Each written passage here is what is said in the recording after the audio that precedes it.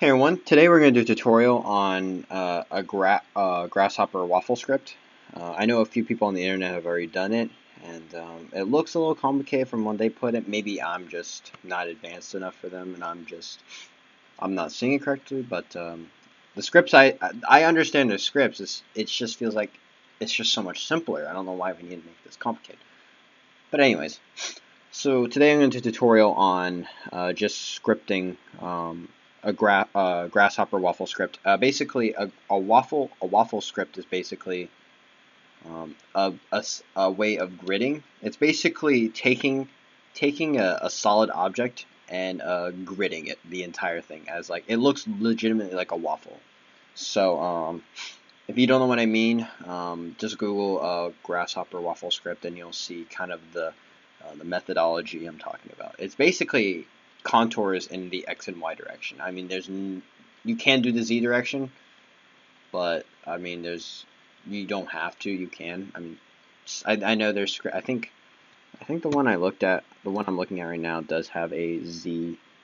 Um, no, it does not. It only has an x and y direction. So this is um, a way we can do it. So uh, enough of me talking. So um, I basically just made the surface randomly. There's no um, there was no, what's it called, there's no, I didn't really have any thought on it. I just kind of made, the, I just made a surface have four dips with four points to make it somewhat complicated, but it wasn't really like uh, a very complex surface.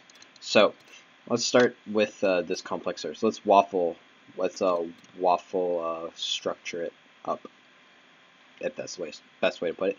But let's just make a waffle script of this surface. So I'm actually going to first hide all this stuff because it's really annoying me. Alright, cool. And you can see my original four points I have. And if I actually move the four points, it actually can change the geometry. Uh, sorry if you heard my phone there. Uh, so what I what I'm going to do now is to create, I just have to, uh, I look at it from this angle, sorry, just trying to get a good angle on this, uh, is create um, a thickness for the surface. So I'm just going to do an extrude surface, or, or just extrude. I'll just do this as the base, and I will set this in the z-axis at a default of 1 inch. So let's just do that. Alright, we're good. So we have this now. Hit Z, and um, my computer seems running a little slow, so I'm going to close Chrome real quick. Sorry about that, guys. A bit of pre-editing in a sense uh, so or editing in the middle of the film.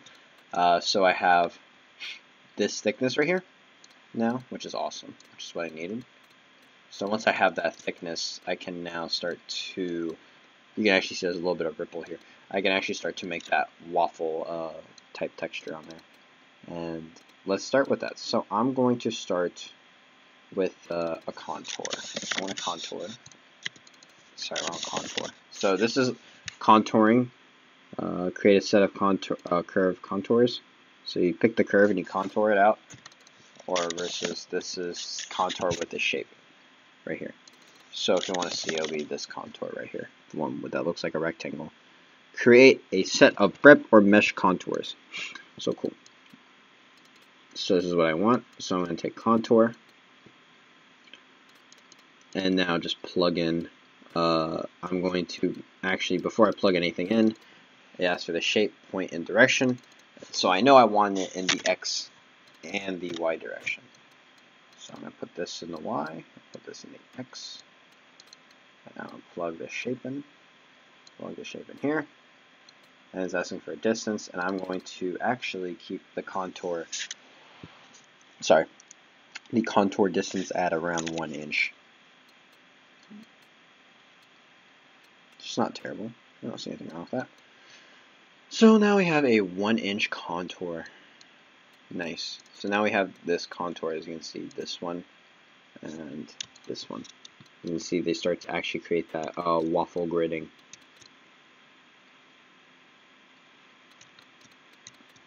So as you can see, it is basically gridding in the X and the Y direction.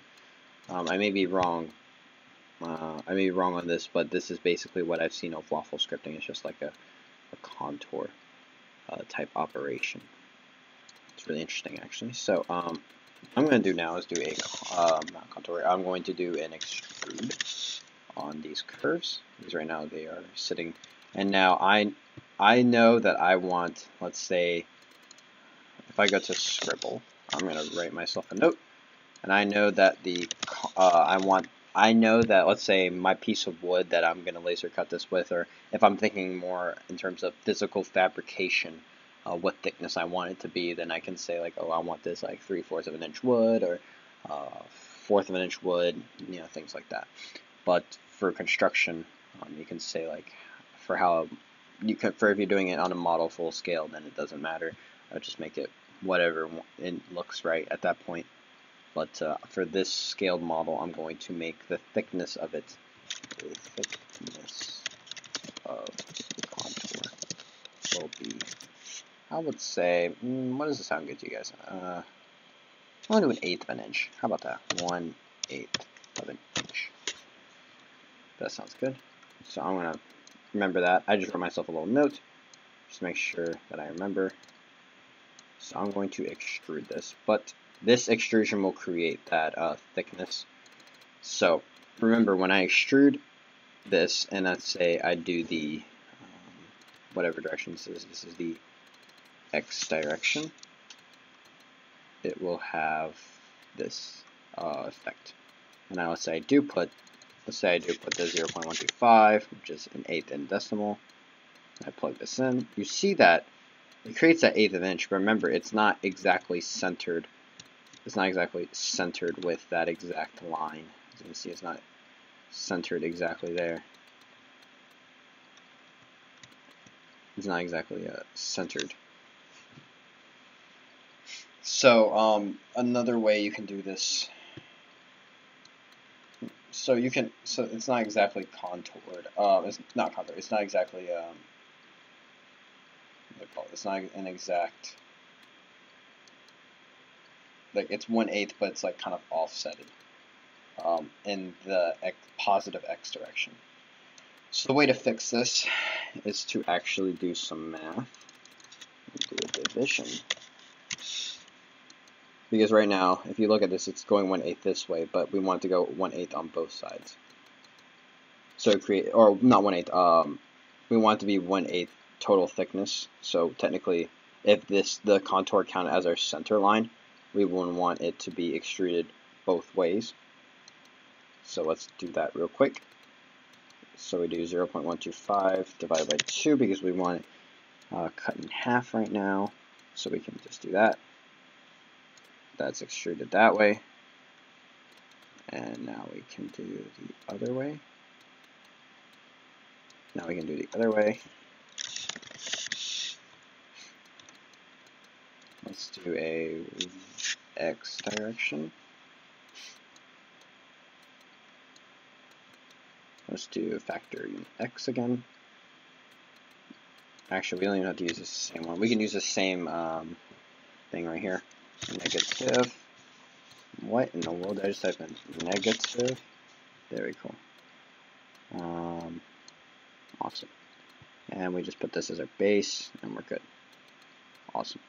So we have that. So we have our 1 8th, or our 1 16th, another 1 16th, and now create our 1 8th um, we have here. So, and then all we have to do now is do a boolean, or not, ah, solid union to combine the two together, so the two reps or B reps, however you want to call it, doesn't matter to me. And just plug those two in. And it's lagging a little bit because there's a lot of geometry happening here.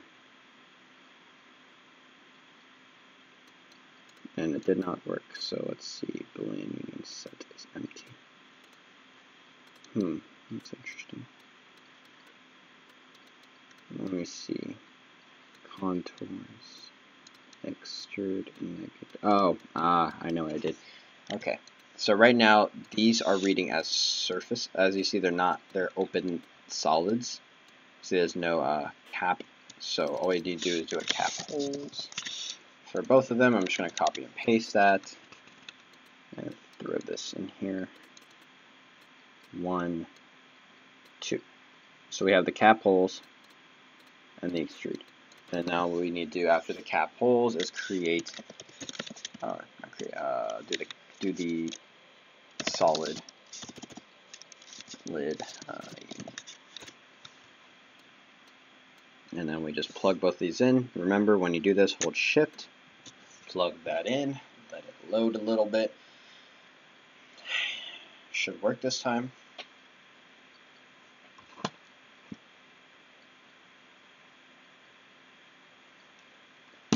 and now it has worked so awesome. So now all we need to do is do this exact same process to the uh, to the uh, y direction. So I'm going to do that real quick. So I'm just going to go a little faster on this one, and uh, so it would just be I'm ready uh, extrude, uh, copy paste. Once we have that, we can do. I know I, my thickness is going to be the same, so in fact I can just kind of keep this in the middle. I know I want this in the y direction. And I know one of these need to be negative. Negative. Negative. Go here, go here, go here, and then here. I just want to save some time just by doing this a little bit up to speed. here, cap holes, and then now we can finally do the uh, solid plug that in.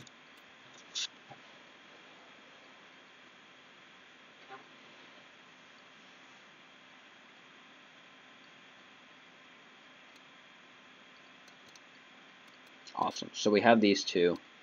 Um, so yeah, um, you can technically stop here, uh, but I'm going to go a little further with this and think about it in terms of a, a fabrication method. So we're going to create little, like little slits in here. In here so you can actually, like, you can press it in um, once you laser cut the file. So let's do that real quickly.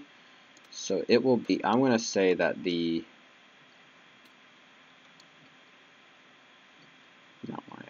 To move, so what I'm going to do is I'm going to move one of these in the Z direction up by around a quarter of an inch. So I'm to move it.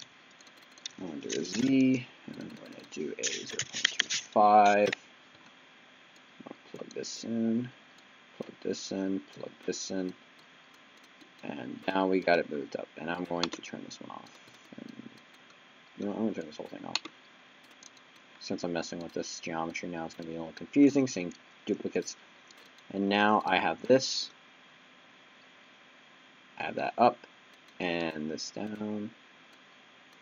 Now I'm going to do a flatten. And the reason why I'm flattening them right now is because when you do a solid difference, or when you do a Boolean operation in Grasshopper, it needs to be flattened.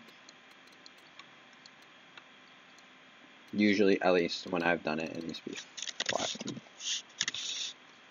so it reads the entire thing as um, in one list. Again, if you don't understand this, uh, the list manipulation would really help out. Because right now, now they are reading as yeah, all as under one list instead of multiple lists. So we can do a now a solid difference. Sorry, it, it, takes me a while because I'm thinking Boolean difference in Rhino, and then I have to keep because I've typed in solid difference in here before, and sol and then uh, typed in boundary surface in here as well, so it gets kind of confusing. So we're going to do a subtract from, subtract with. So subtract from this, and subtract with this. So let's see if this works.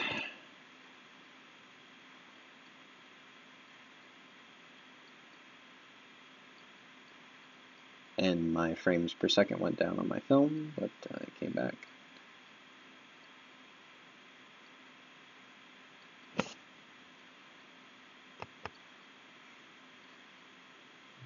Mm, still loading. I'm not too sure exactly how to like keep down the time because it gets really, really, really high in terms of the amount of time it takes for the process. Um, I did watch, uh, was it the video? He's a very new channel. Um, I'd recommend subscribing to him. By the way, he's a really he teaches a Grasshopper as well, or in terms of just like commands, and I think they're really good videos. I think they're really well done videos. I think they're better than mine, honestly. Um, they're really, really good.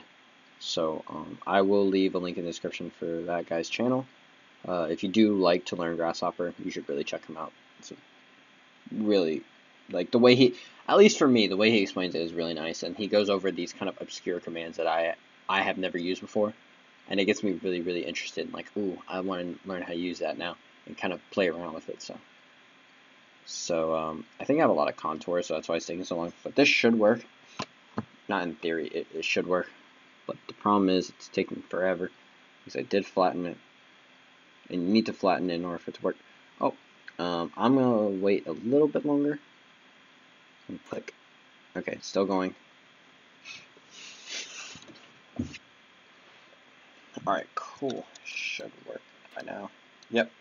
Sweet. So as you can see, it did create those sorry, those holes in there. So I'm actually going to now bake these.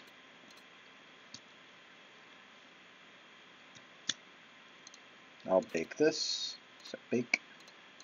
I want to show you guys what it looks like.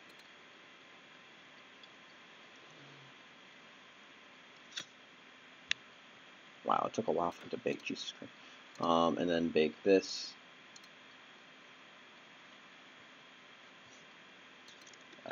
And I'm going to zoom out all the way so it can uh, generate all the meshes into the view. Nice. Both groups.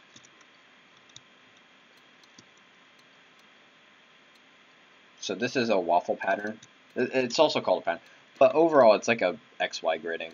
As you can see, it's like a waffle type pattern. I did make, I did give um, architecturally, I did give some hierarchy to the to the, what is it, which axis did I move? The x-axis, I'm assuming, right? As you see, I would laser cut out those areas, and then you can actually just place them on top once you have all of them together. It's actually pretty simple.